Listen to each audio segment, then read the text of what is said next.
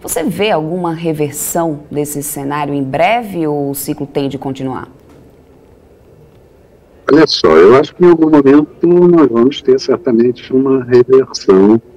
de tendência. Quer dizer, se a gente pegar o cobre é, batendo,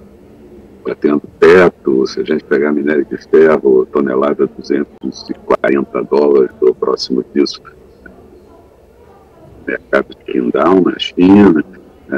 certamente vai reverter, mas a gente tem que observar algumas coisas. Primeiro, é, quase todos os países, e principalmente os países desenvolvidos, vão fazer investimentos, estão começando a fazer investimentos pesados em infraestrutura. Então, isso significa maior demanda por minerais, maior demanda por produtos de aços e, e aços especiais, e certamente é, a gente não vai ter nenhuma grande queda dessas matérias-primas minerais. O mesmo a gente pode fazer um paralelo com proteínas, de uma forma geral, soja, carne, enfim, é, que também vão ter uma demanda maior, porque o nível de renda vai melhorar com a retomada da economia, vai se consumir mais proteínas. É, isso, por um lado, é bom para as empresas que trabalham nesse segmento, mas acaba sendo é, uma redução, uma ampliação dos custos das empresas que produzem carnes de frango, por conta de rações, né, que preços de, de, milho, soja, assim, sorgo acaba, acaba subindo junto e aumenta o custo de produção dessas, dessas proteínas. Mas, de qualquer forma,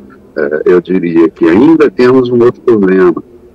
interrupção de negociações entre China e Austrália. A Austrália está ali dentro do lado da China, e, portanto, tem uma capacidade de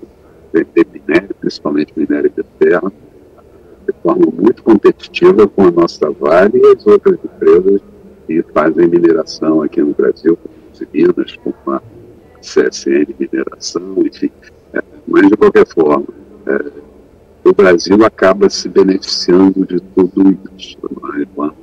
é, ter é, um quadro bastante favorável para as commodities brasileiras durante um bom tempo, mas certamente em algum momento a gente vai ter uma retração, como já teve anteriormente no minério de ferro, como já teve no petróleo, enfim. Então, acho que a gente é,